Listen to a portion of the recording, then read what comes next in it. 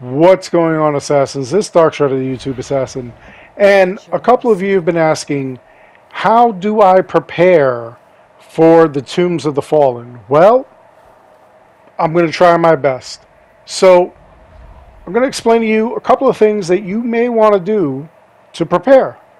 Make sure you subscribe to the Dark Strider channel where we give you the secrets to crush Assassin's Creed Valhalla.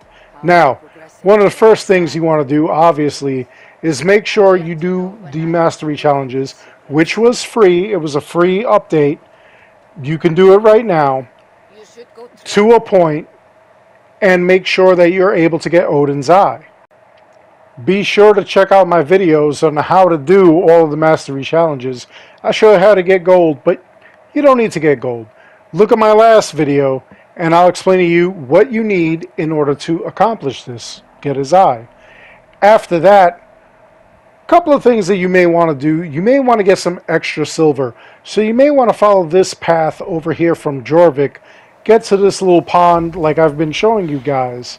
And then make sure you've got the spinning harpoon. Get in that water and start slapping those fish with that harpoon. Believe it or not, these fish are going to net you a bunch of silver.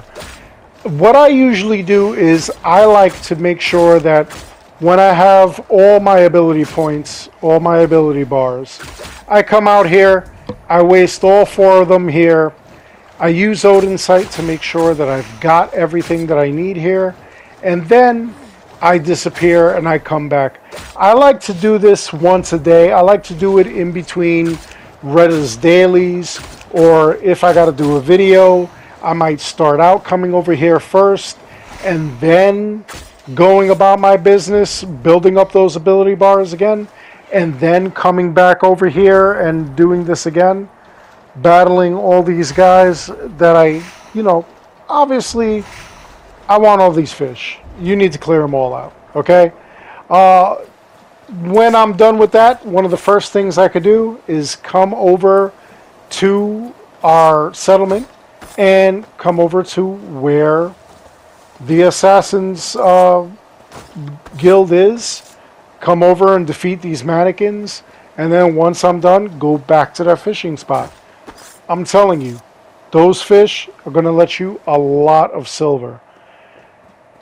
When you're done with, you know, like uh, the first time that you go to the settlement and kill those dummies, you go back, you get the uh, the fish, you come back to your settlement.